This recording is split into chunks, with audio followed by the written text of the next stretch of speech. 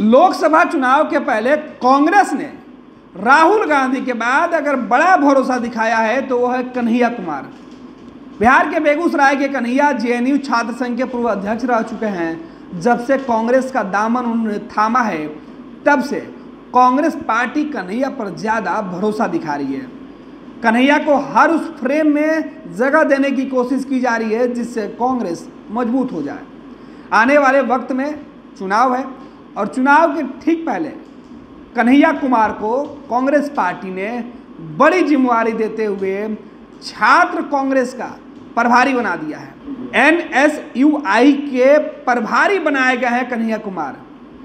Congress party के जो वेणुगोपाल हैं, उन्होंने कन्हैया कुमार को ऑफिशियल घोषणा करते हुए प्रभारी बनाया है। कन्हैया कुमार के प्रभारी बनने के साथ पूरे देश भर में कन्हैया कुमार के हाथों में छात्र जो नौजवान जो कांग्रेस पार्टी है, जो उनके वर्कर हैं, उनके जो नेता हैं, उनसे कन्हैया कुमार सीधे जुड़ सकते हैं। छात्रों को, नौजवानों को एकजुट कर चुनाव के मैदान में कन्हैया कुमार लेके जाएँगे। तो अच्छे वक्ता के साथ साथ कन्हैया कुमार के साथ पार्टी की ये भी जिम्मेवारी होगी कि वो पार्टी के नीति और सिद्धांत को उचित फोरम पर रखें। जिससे कांग्रेस पार्टी जो कमज़ोर होते जा रही है, उसे मजबूती मिले।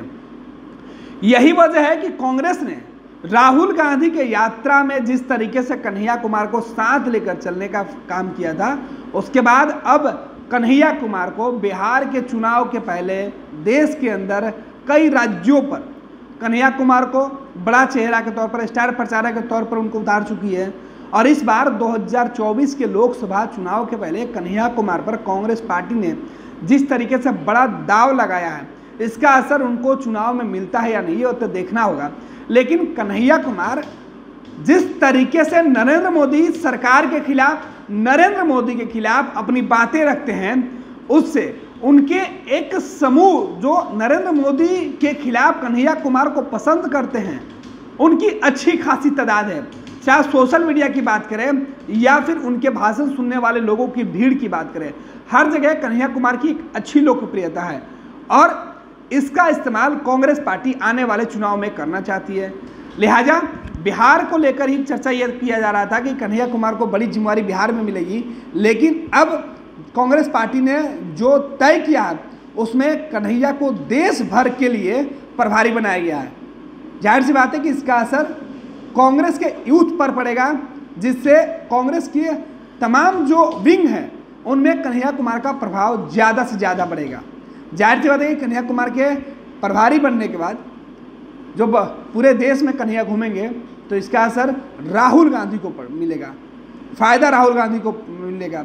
असर देश भर में होगा, क्योंकि कन्हैया कुमार नरेंद्र मोदी के खिलाफ जिस तरीके से अपनी बातें रखते हैं, वो लोगों को पसंद आता है।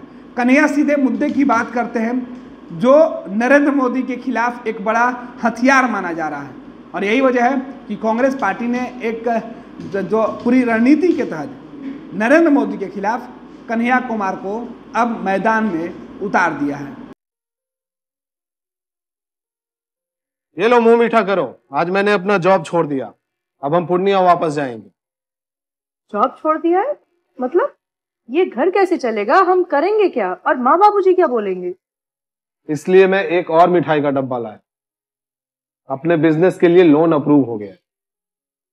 अरे लोन अप्रूव हो गया वो तो ठीक है लेकिन पूर्णिया में हम रहेंगे कहाँ? अपना घर भी तो नहीं है वहाँ। इसलिए तो एक और मिठाई का डब्बा अलग से लाया हूँ। हमने पूर्णिया में घर ले लिया है। पूर्णिया के ई होम्स पैनोरमा में। पूर्णिया में पैनोरमा ग्रुप लेकर आए हैं। ई होम्स पैनोरमा बड़ा घर आलीशान ज़िंदगी और अत्याधुनिक सुविधाओं के संग। अरे अरे अब क्यों मुँह मीठा करवा रही हो? क्योंकि हम घर वापसी जो कर रहे हैं। घर वापसी की खुशी पूर्णिया में ई होम्स पैनोरमा के संग। ई Homes Panorama luxurious lifestyle redefined